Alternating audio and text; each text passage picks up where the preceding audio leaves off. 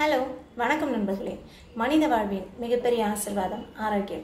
நான் உங்கள் doctor Clara பேசுகிறேன் எல்லோரும் எப்படி இருக்கீங்க? ஹாப்பியாக இருக்கீங்களா? இன்றைக்கி நம்ம பார்க்க போகிறது என்ன அப்படின்னா வெண்டைக்காய் பற்றி தான். அதுவும் வெண்டைக்காயை ஊற வச்சு சாப்பிட்றதுனால இவ்வளவு நன்மைகள் நமக்கு கிடைக்குமா அப்படின்றத பற்றி தான். வெண்டைக்காய் அறிவு வளர்ச்சியை அதாவது மூளை வளர்ச்சியை மேம்படுத்தும் அப்படின்னு சொல்லுவாங்க. ஏன்? அறிவு வளரணுமா? வெண்டைக்காய் சாப்பிடுங்க அப்படின்னு கூட சொல்லுவாங்க.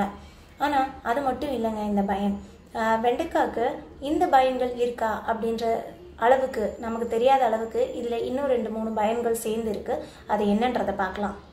வெண்டைக்காய்க்கு நம்ம உடம்ப எப்பவுமே குளிர்ச்சியாக வச்சுக்கிற தன்மையும் நம்ம உடம்ப வறட்சியிலேருந்து பாதுகாக்கிற தன்மையும் நம்ம உடம்ப ரொம்ப ஸ்ட்ரென்த்தனாக வச்சுக்கிற தன்மையும் இருக்குது வெண்டைக்காயை எப்படி ஊற வச்சு அந்த தண்ணியை சாப்பிட்லாம் அப்படின்றத பார்க்கலாம்.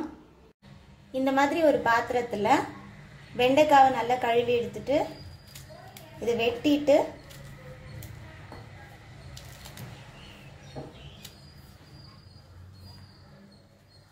நீல வாக்கில் கட் பண்ணி ஊற வச்சு எடுத்துக்கோங்க.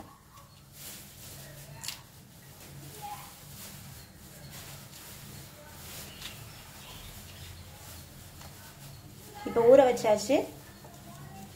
இதை மறுநாள் காலையில் எந்த அளவுக்கு ஊறியிருக்கு அப்படின்றத பார்க்கலாம். வெண்டைக்காய் இப்போ நல்லா ஊறிடுச்சு. இந்த தண்ணியை இப்படி எடுத்து பார்த்தீங்க அப்படின்னா ஒரு திக் கன்சிஸ்டன்சியில் இருக்கும். வெண்டைக்காவோட எக்ஸ்ட்ராக்ட் அதாவது அந்த பிசுபிசுப்பு தன்மை இந்த தண்ணியில் இறங்கியிருக்கும். இந்த தண்ணியை தான் நம்ம மார்னிங் எம்டி ஸ்டமக்கில் தண்ணியும் குடிச்சிட்டு இந்த வெண்டைக்காவையும் சாப்பிட்ணும். இப்படி தான் இந்த தண்ணியை ஊற வச்சு எடுத்துக்கணும். இப்போ நம்ம பார்த்த மாதிரி ரெண்டு வெண்டைக்காய் எடுத்துக்கோங்க. நல்லா கழுவி அதோட ஓரங்களை வெட்டி எடுத்துட்டு நீல வாக்கில் கட் பண்ணி தண்ணியில் ஊற போட்டுட்டு நைட்டில் ஊற போட்டுருங்க. காலையில் எழுந்திரிச்சி எம்டி ஸ்டமக்கில் ப்ரஷ் பண்ணதுக்கப்புறம் அந்த வெண்டைக்காய் தண்ணியும் சாப்பிட்டுட்டு அந்த வெண்டைக்காயும் சாப்பிட்டுட்டு வந்தோம் அப்படின்னா தொடர்ந்து ஒரு நாற்பத்தெட்டு நாளுக்கு சாப்பிட்டுட்டு வாங்க. ஹை பிபியும் சுகரும் தவிர அதாவது கொஞ்சம் லோவில் இருக்கிற ஒரு டூ ஹண்ட்ரடுக்கு கம்மியாக இருக்கிற சுகர் பேஷண்ட்ஸ் பிபி பேஷண்ட்ஸ் இதை தாராளமாக எடுத்துக்கலாம்.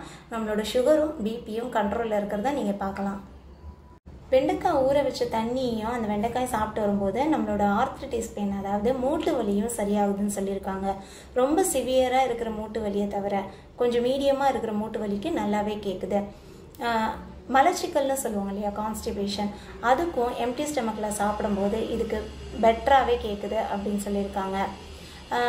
இந்த வெண்டைக்காவோட இளம் பிஞ்சுன்னு சொல்லுவோம் இல்லையா?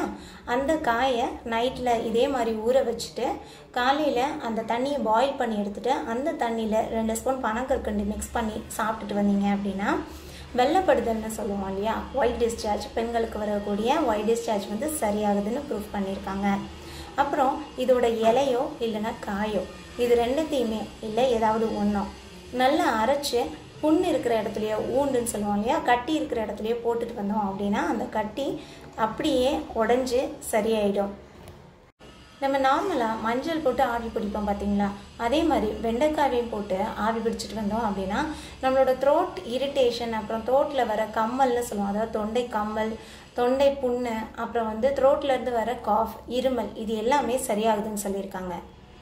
இந்த மாதிரி வெண்டைக்காவை பச்சையாக சாப்பிட்டாலும் சரி ஊற வச்சு சாப்பிட்டாலும் சரி அது நம்ம உடலுக்கு கொடுக்கக்கூடிய பயன்கள் வந்து அதிகமாக தான் இருக்குது ஆனால் அதை நம்ம சாப்பிட தான் மாட்டேன்றோம். ரொம்ப கஷ்டப்படுறோம். இனிமேலாச்சும் சாப்பிட்லாம். இந்த தகவல் உங்களுக்கு பயனுள்ளதாக இருந்துச்சுன்னா மற்றவங்களுக்கு சொல்லிக் கொடுங்க.